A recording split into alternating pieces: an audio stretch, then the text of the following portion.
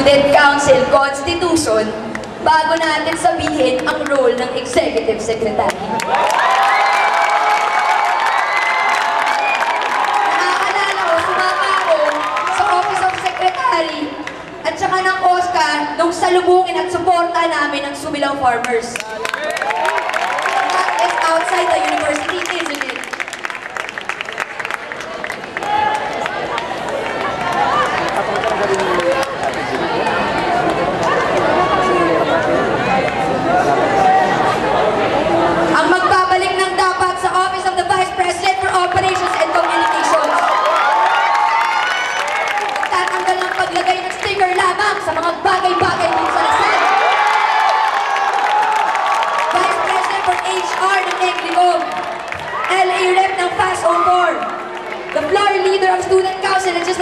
Assembly and Executive Vice President of the Arts College Assembly.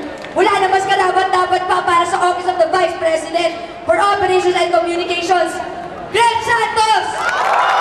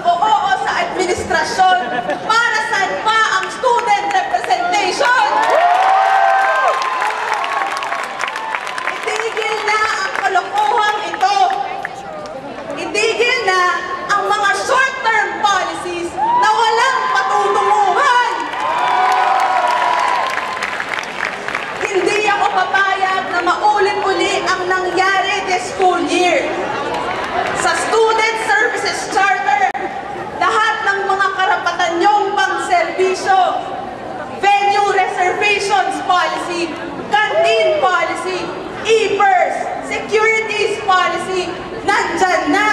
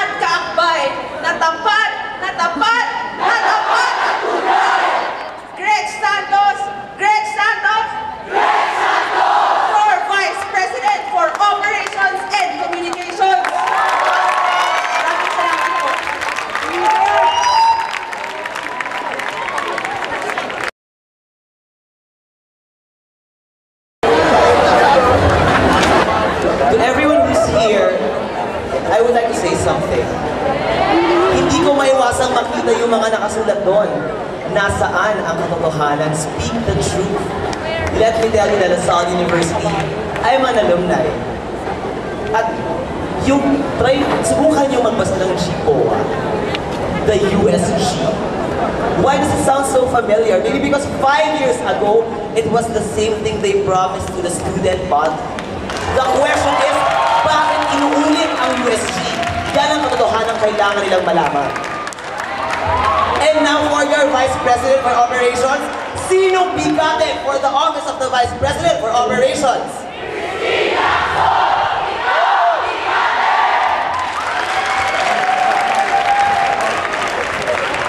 Ano tong naririnig ko na dapat ibalik ang karapat-dapat sa opisina ng Vice President for Operations? Kapwa Lasalyanong hindi sila nararapat.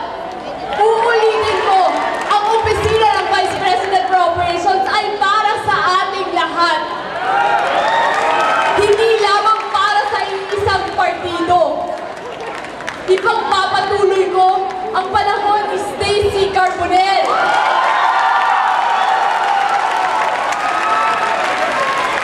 Ngayong taon, the Office of the Vice President for Operations has surpassed its expectations, has gone beyond what any other open office has done before.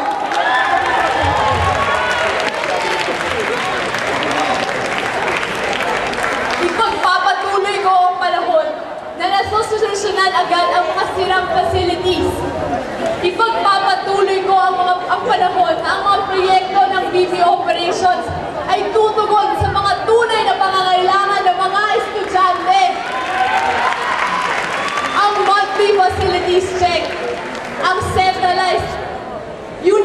community-wide locker rental system, ang security forums, ang student council announcement. Ito ang mga kailangan ng mga estudyante.